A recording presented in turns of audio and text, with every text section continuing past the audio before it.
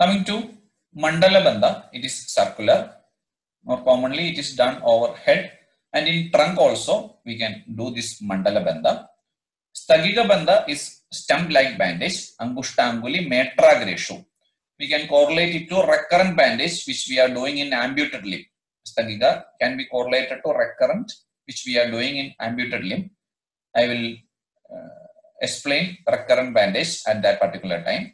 Yamaka or Yamala is double bandage if there is one wound over this particular area and other over this particular area. At the distal end of humerus and the proximal area of forearm, whenever there is two ulcers or two wounds, if we are covering this particular two area with a single bandage, that particular bandage is called as Yamaka, Yamaka Bandha or Yamala Bandha. Khatwa is four-tailed bandage, Hanu Shanga Gandeshu Khatwa. Khatwa is doing in uh, that particular bandage is doing in mandible fracture and temporomandibular joint dislocation. In all dislocation, we should give an immobilization for a period of three weeks. In Khatwa Bandha, what we are doing is a small piece of gauze is layered in five layers. Uh, a, the distance of that particular gauze is from here to here like this. Measure this particular measurement of that particular patient and then it is divided into two tails. The two ends are divided into two tails then it becomes four tails and then we apply this particular middle aspect of the bandage over here and through the anterior aspect of ear and posterior aspect of ear, ear we are taking the anterior tail and posterior tail and here also anterior tail and posterior tail. The right sided posterior tail is tied to the left sided anterior turn. Like cross crossing we are giving that particular bandage. The left sided or right sided anterior turn to the left sided posterior turn. Likewise we are doing khatwa bandha khatwa bandha very simple bandage. Actually first we are measuring the total distance the total area to be immobilized and then four to five turns to four to five layers gauze is taken and then apply the middle part over here and through the two anterior and posterior aspect of ear we are taking that particular tails and then tied over here. Actually this is bandha which we are doing in mandible fracture and temporomandibular joint dislocation.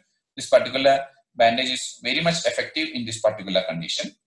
Cheena bandha is eye bandage abangyo Cheena after applying pindi we are doing this particular bandage vibandha is prashtodara varasu vibandha in rib fracture and in T12 fracture, we can use this Vibandha Bandha. Coming to Vibandha Bandha, here we can see Vibandha Bandha. This is actually compression test, compression test to identify the rib fracture.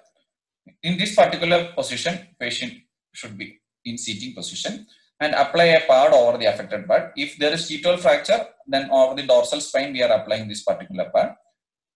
The pad should be applied on the affected area and we can pour Murivanna. This particular bandage is very much effective in pain management. In pain management, in rib fracture and also in T12 fracture, this particular bandage is very much effective. The width of this particular bandage is 30 centimeter and length is 5 meter. For hip spica bandage also, we are taking this particular same measurement, 30 centimeter width into, into 5 meter. In shoulder spica bandage also, we are taking the same measurement, 30 centimeter width into 5 meter.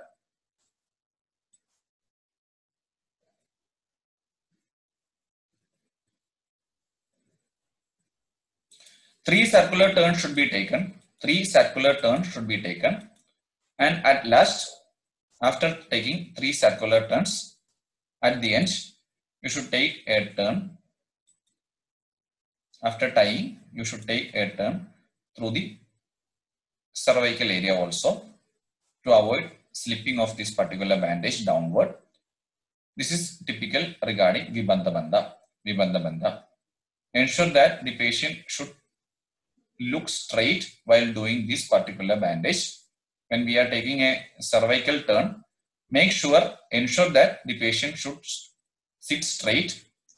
All patients should look down what is happening here, what is happening here if we are doing the bandage in this particular position in cervical flexion, after two to three days, patient will return to OP due to cervical pain. So make sure that after doing this particular bandage, check that whether it is loose or not. Pin should be applied same as of hip spica bandage to avoid inward rolling.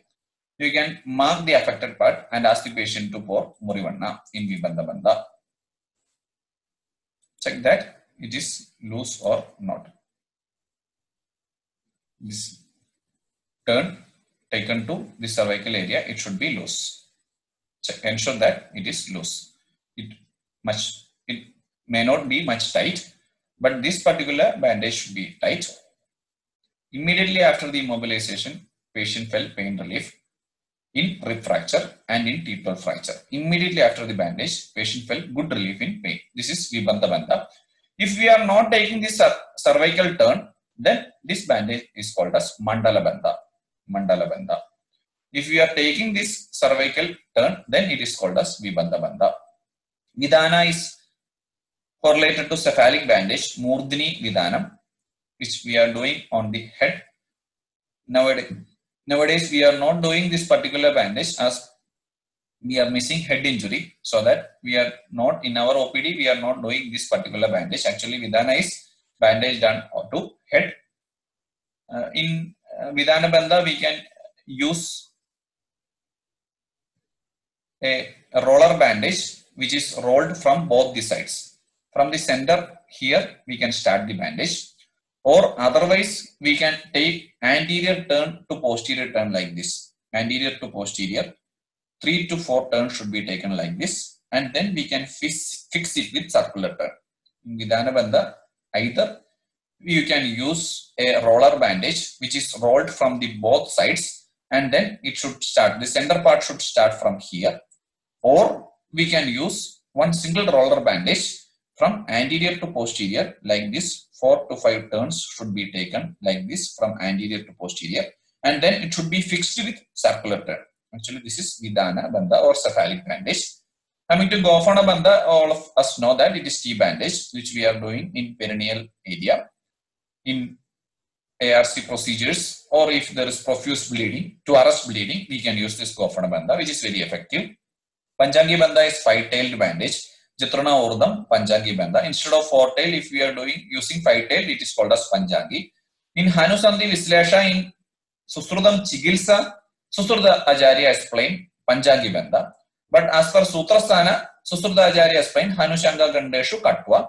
And Ulsangi, as Vagbhadacharya is more practical, he included Ulsangi Bandha, sling or triangular bandage, which is very effective in all upper limb injury in all upper limb injury, we must advise a sling from the very beginning.